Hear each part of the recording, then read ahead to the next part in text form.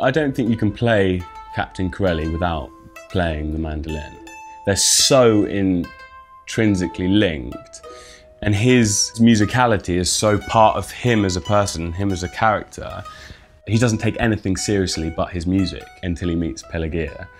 All of that has been informed by the process of having to learn the thing, and, and that's invaluable.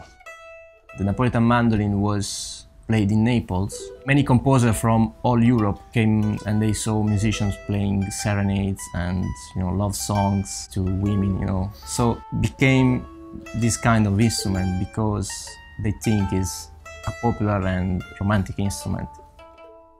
It can't help but be romantic. It is a wonderful book. It's epic, but also super personal at the same time. It has these amazing intertwining relationships, and you feel for each of the characters.